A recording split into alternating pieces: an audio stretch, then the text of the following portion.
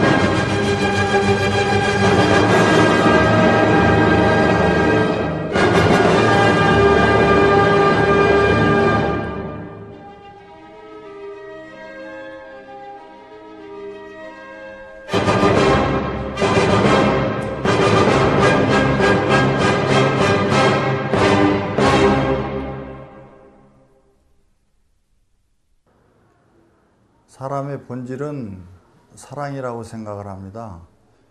그 대상을 무엇을 선택하느냐에 따라서 그 사람의 생애가 고상하게도 될 수 있고 그렇지 않은 경우도 있다고 생각을 합니다.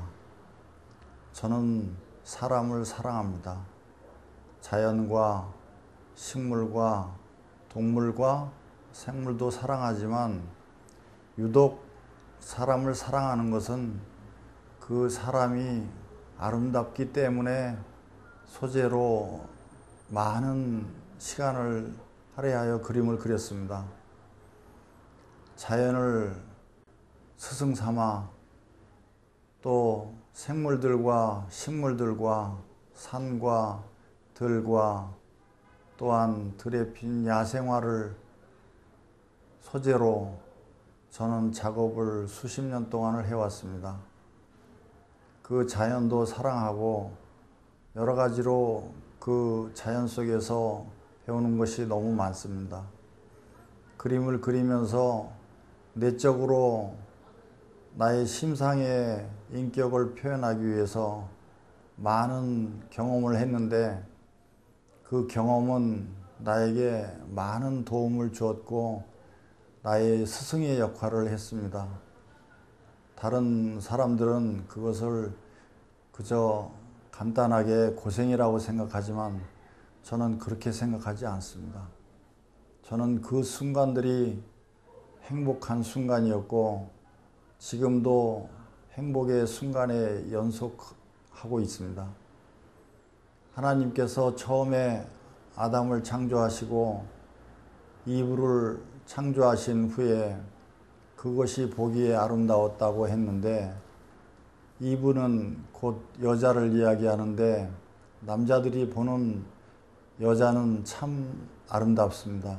그래서 제가 주로 그리는 인물화에는 여자가 많이 등장하는데 그 소재야말로 아름답고 표현하기에 무궁무진한 내용과 여러 가지 그림의 테크닉을 발휘할 수 있는 소재라고 생각을 합니다. 그래서 앞으로 제가